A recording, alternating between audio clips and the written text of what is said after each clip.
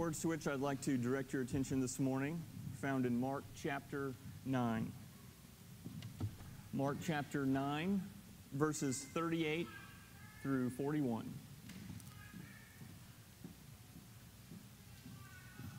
John said to him, Teacher, we saw someone casting out demons in your name, and we tried to stop him because he was not following us. But Jesus said, Do not stop him, for no one who does a mighty work in my name will be able soon afterwards to speak evil of me. For the one who is not against us is for us. For truly I say to you, whoever gives you a cup of water to drink because you belong to Christ will by no means lose his reward. Let's pray. Heavenly Father, we ask that you use your word to strengthen our faith as we pass through this world. Help us to walk by faith and not by sight. We pray this in Jesus' name. Amen. Proud logic suggests that anyone not ministering in my circle must be lacking. And in this passage, we see that John is filled with proud logic. You will recall that earlier in this chapter, in Mark chapter 9, verse 34, just a few verses before this, the disciples were arguing. They were disputing with one another about who was the greatest. And in response, Jesus gets a little child, sets him in their midst, takes him in his arms, and then says in verse 37 Whoever receives one such child in my name receives me. Whoever receives one such child in my name receives me. Which gets John's wheels turning. Really, John is thinking. Whoever? Even those who aren't traveling with us right now, whoever receives one such child in Christ's name receives Christ? And so John then says in verse 38, Well, teacher, we saw someone casting out demons in your name and we tried to stop him because he was not following us. So realize what's going on here. John is proposing this scenario to Jesus to test drive what Jesus said in verse 37. Jesus said, Whoever. And John's thinking, Whoever? Really? Because there's people out there who aren't in our circle. And so John is testing Jesus here. And he's saying, okay, whoever, should we even receive this guy that we saw who's appropriating your name? We don't even know who he is, but he's using your name to cast out demons. You know, we told him to stop, you know, because he's not one of us. He doesn't travel with us. Did we do well, Jesus? You see, John seems proud of the fact that the disciples forbid someone outside their circle from driving out demons. And in response, Jesus says, do not stop him. And then Jesus gives three reasons why. Reason number one, verse 39 For no one who does a mighty work in my name will be able soon afterward to speak evil of me. Reason number two, verse 40 For the one who is not against us is for us. And then reason number three, verse 41 For whoever gives you a cup of water to drink because you belong to Christ will by no means lose his reward. So, in the course of Jesus' three reasons, he answers a couple of really important questions that are still relevant for God's people today. He answers the question first Who are our friends? And he answers the second question What is important work? And so let's consider these two questions. First, who are our friends? That is, in, in, in, context of ministry relationships, who are our friends? Who are our allies? Who should we partner with? Who should we approve of? Who should we be seen with? Who are our friends in terms of doing ministry? Look with me again at verse 38. This is John's objection, John's, uh, John's words to Jesus. John said, Teacher, we saw someone casting out demons in your name, and we tried to stop him because he was not following us. So, first, understand what's going on here. And what does this mean? He's not following us. Well, this person that they saw has no outward connection to the disciples. They do not labor together, they're not actively involved in each other's ministry. They don't travel in the same circles. And so think about this. Apparently, in the course of Jesus' ministry, as people listened to his teaching, as people received his healing, pockets of followers sprouted up. And apparently, some even had the power to cast out demons. And apparently, these other groups were unknown to the disciples until one day John sees someone casting out demons in the name of Jesus. And so, what's going on here? So, there's multiple groups of Jesus followers operating in Judah. They cannot all act in coordination with one another. They cannot all act in subordination to one another. And what we learn in this passage is that's okay. This passage is teaching us about identifying sides. This is essential to gospel ministry. We must identify sides. Who's on whose side? How do we know who are our friends?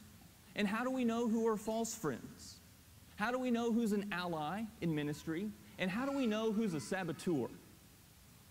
And here we learn it's not a simple question, it's not black and white.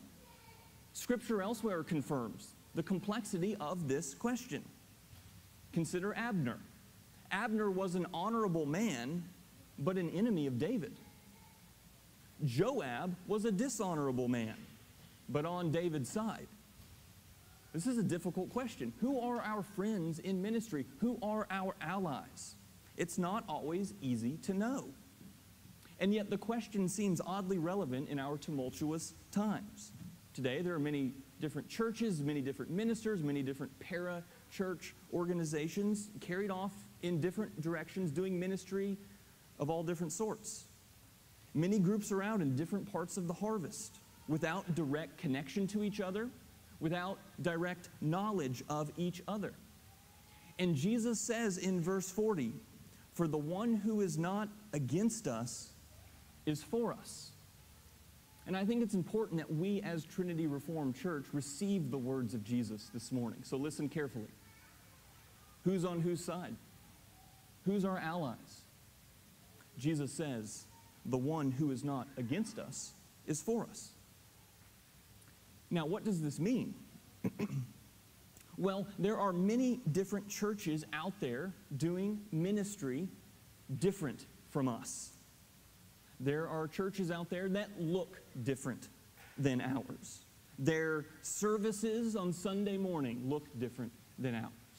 Their distinctives look different than ours. Their emphasis looks different than ours. Their gifts look different than ours. What should we do about it? Well, we have to embrace the fact that, yes, they may look different than us, but that doesn't mean they're not on Christ's team too. What are we supposed to do about it? There's all these different groups out there doing ministry in the name of Jesus, and they do it differently than us. They look different than us. They sing different songs than us. They read different books than us. They go to different conferences than us. What should we do about this problem? Well, we have to recognize that it's okay. That's okay. It's not necessary for every group to do things identical. It's not necessary to do everything the same, for us all to read the same books, to listen to the same podcast, to have the same people we look up to. That's okay if we do things differently. But I want you to notice the tendency here, especially seen in John in verse 38. Notice the tendency in Christians. The tendency is to see other Christian groups, to even see them doing faithful work, such as casting out demons in Jesus' name. And the tendency is to say, but wait, wait, wait, he's not following us. He's not one of us. I mean, wait, how could he possibly be doing faithful ministry? He hasn't read these books here that I think are really important. How could he possibly be doing faithful ministry? Wait, wait. He's not listened to the podcast in my podcatcher. How could he possibly be doing faithful ministry? He doesn't know all these things that are essential, that I've said are essential. How could they possibly be honoring the Lord in their ministry? To, that's the tendency of Christians. We've got our circle, we do ministry in. There's lots of other Christians out there doing ministry. We say, oh, they're doing it different. They're reading different books. They're going to different conferences. They're listening to different podcasts. How could they possibly be faithful Christians too? That's the tendency that's within all of us as Christians. So, back to our question How do we know who are our friends in ministry? How do we know who are our allies? In other words, by what standard do we identify who are our allies? By what standard do we identify who are our friends and who are false friends? Consider two guidelines. First, how do we know who are our friends? Well, first, realize it's not about appearances. It's not about mere appearances. Because understand that when modern Christians are, are, are, wrestling with this question, when modern Christians are trying to determine friend or foe, we make judgments based on superficial appearances. And basically, we make judgments like we're a PR firm for some corporation. And so when we start thinking about this question as Christians, basically we say, well, you know, I kind of like that ministry and what's going on over there. I kind of like that pastor. I kind of like that church. But, you know, if we're seen associating with them, if we're seen associating with that pastor, if we're seen associating with that ministry, well, you know, that's going to make us look bad because a lot of people don't like them a lot of people slander them. And so if we're seen, you know, publicly acknowledging them or doing ministry with them or forming alliances with them, then those people that slander them, they're going to slander us. See, that's how we run the calculation as modern Christians. We're moderns. We're basically full time PR firms here when we think about these sorts of things. But realize we're not called to make alliances based on mere appearances. If deciding friend or foe was based on appearances, then Barnabas would never have taken Paul to the apostles and vouched for him in Acts chapter 9, verses 26 and 27. Likewise, in the case of Jesus, in John chapter 7, they come after Jesus and they're slandering him. And Jesus says this in John chapter 7, verse 24 Do not judge by appearances, but judge with right judgment. And so we know that identifying friend or foe is not based on appearances. And so, rather than judge by appearances, Jesus says, judge with right judgment. So think about what that means. Judge with right judgment. First off, you're supposed to judge. Jesus said it, judge with right judgment. So, when you're trying to figure out friend or foe, when you're trying to determine who's your friend in ministry, judge. Let's start there. We need to judge. So judge, and then judge rightly. So we are supposed to judge, we're supposed to assess, we're supposed to make a decision. But how are we supposed to do that? If not by appearances. And so, how do we know who are our friends? The first guideline is it's not about appearances. And the second guideline is it's about sincere devotion to the Jesus of the Bible. And this is what Jesus is getting at in verse 39. Jesus said, Do not stop him, for no one who does a mighty work in my name will be able soon afterward to speak evil of me. In other words, what Jesus is saying here, and I realize this is hard for us to accept, we're very cynical people, but what Jesus is saying here is the fact that this man is able to work miracles in Jesus' name shows that he's not an enemy. The man is associating himself with Jesus by using his name. He's casting out demons in the name of Jesus. So he's publicly associating himself with Jesus of Nazareth. And Jesus is basically saying, this puts him on the right side. And Jesus is saying, such a person cannot consistently go on to speak as Jesus' enemy. And so there's no justification for John and the disciples to oppose this person. But remember, this isn't easy. This, this is not simple. It's, it's not always black and white. So consider what Paul says in 1 Corinthians 12, verse 3. Therefore, I want you to understand that no one speaking in the Spirit of God ever says Jesus is accursed, and no one can say Jesus is Lord except in the Holy Spirit. In other words, a Christian will not curse Jesus. A Christian declares and submits to the lordship of Christ. And so, Jesus is Lord can only be uttered with full meaning under the influence of the Holy Spirit. And saying Jesus is accursed can only be uttered with full meaning, with the absence of the Holy Spirit. John also said something like this in 1 John 4 2 and 3. By this you know the Spirit of God. Every spirit that confesses that Jesus Christ has come in the flesh is from God, and every spirit that does not confess Jesus is not from God. And so, tying this all in then with verse 39 in Mark chapter 9, it all starts with their devotion to Christ. Jesus said, verse 39, consider it again. Do not stop him, for no one who does a mighty work in my name will be able soon afterward to speak evil of me. And so that means that those who minister in Jesus' name with sincerity are friends. And I emphasize with sincerity for the same reason that some of you are wondering, but what about those people who use the name of Jesus but then deny the Jesus of the Bible? Well, yes, that's a real problem. In fact, we see that situation in Acts chapter 19, verses 13 through 16 the Jewish exorcists started using the name of Jesus in their work. And their practice is condemned. Why? Because they had no actual allegiance to Jesus. They had no actual belief in Jesus. They did not sincerely use the name of Jesus in their work. They were not genuine in their belief in Jesus. They just used his name, like someone might use a magic incantation. And so, how do we know who are our friends? By what standard do we identify who are friends, who are false friends? Well, we've got two guidelines. First, it's not about appearances. Second, it is about sincere devotion to Christ. Those who serve the Lord with sincerity, those who acknowledge that Jesus is Lord, 1 Corinthians 12 3, those who acknowledge that Jesus is God, 1 John 4 2 and 3. Those who are serving in the name of Jesus, Mark chapter 9, verse 39, those are the people that we should recognize as allies, as ministry allies. John's problem is that he is looking for whether or not they have membership in his circle. You know, he's worried about do they know our secret handshake?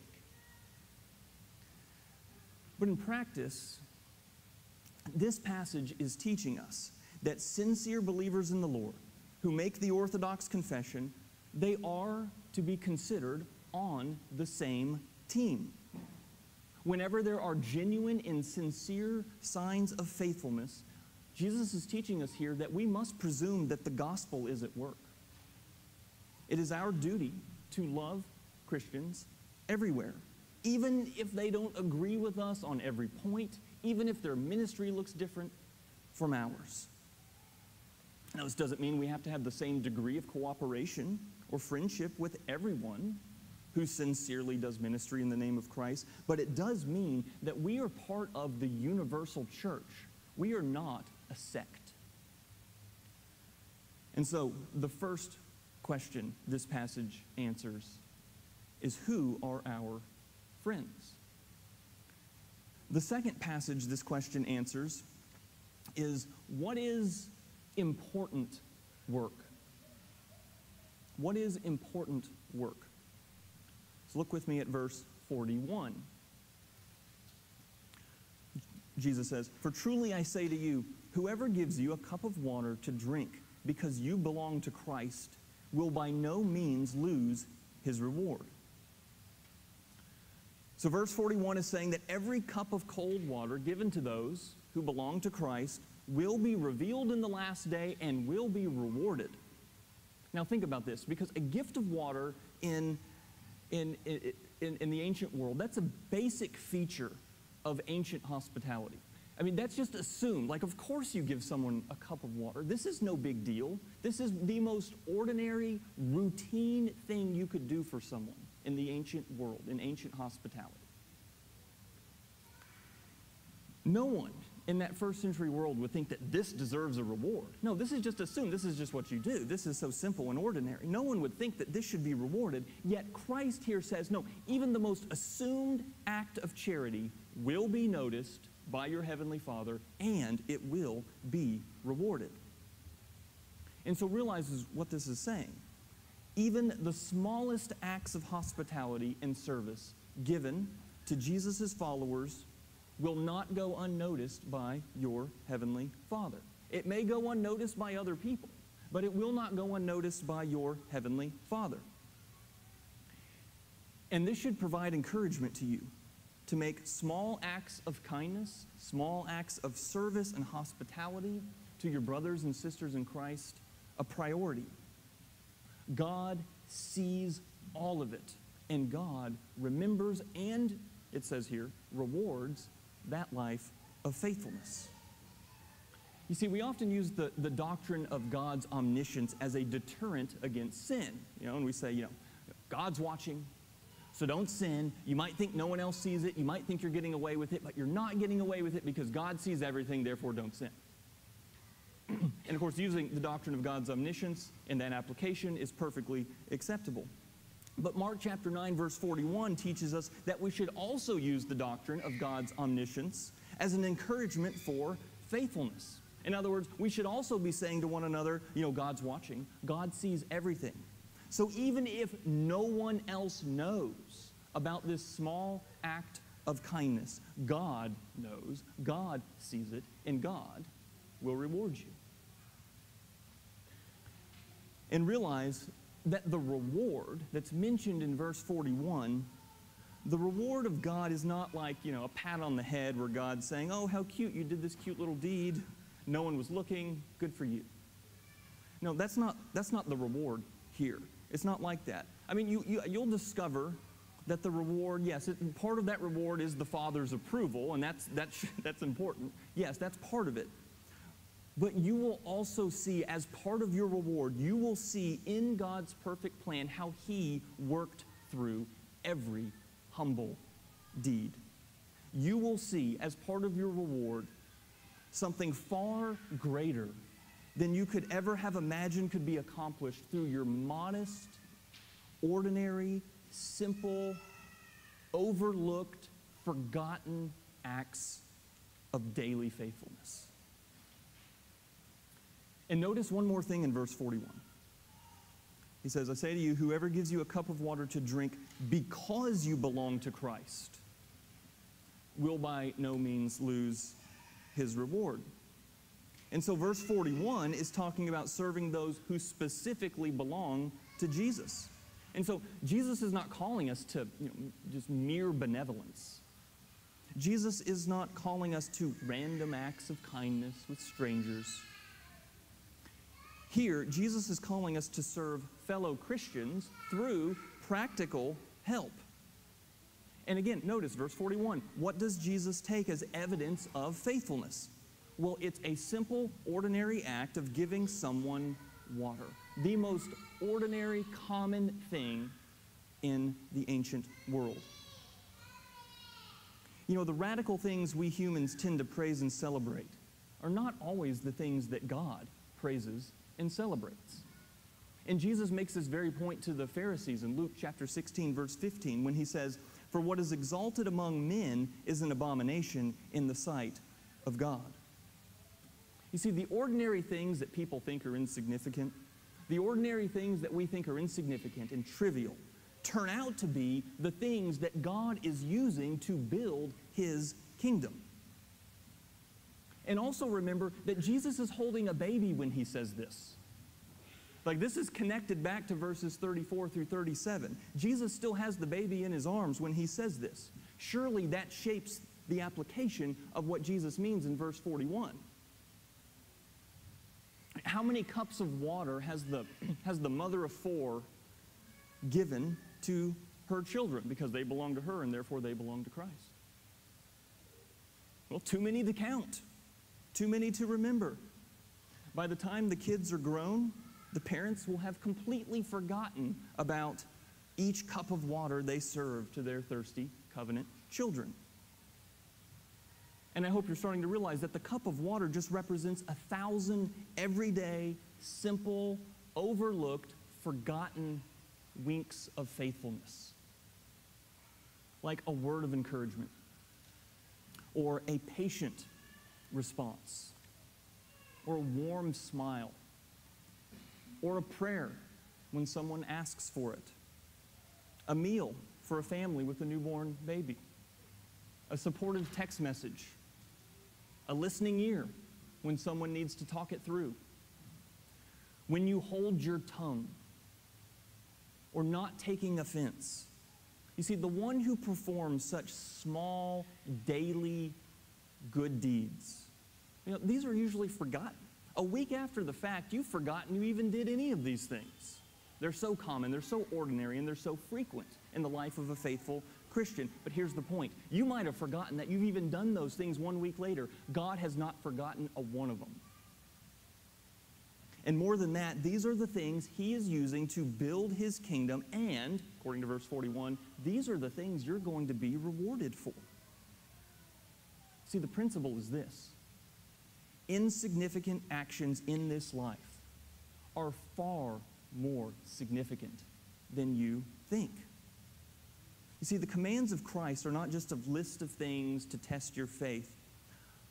Obedience to Jesus' commands is how God builds his kingdom. And that's why in church history, the more the church is obedient to God's word, the more it grows.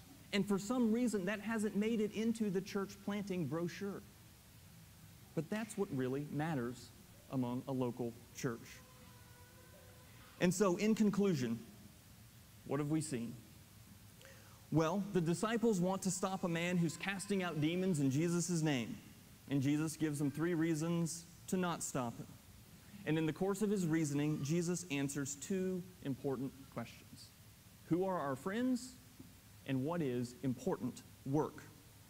You see, this passage illustrates, as we see in verse 40, that the one not against us is for us. In other words, folks are either on God's side or they're not. There's no middle side, there's no neutral side. And as we see in Numbers chapter 11, verses 26 through 29, how Joshua, when he was Moses' assistant, he attempts to restrain Eldad and Medad from prophesying. And Moses tells him, Were that all that the Lord's people were prophets.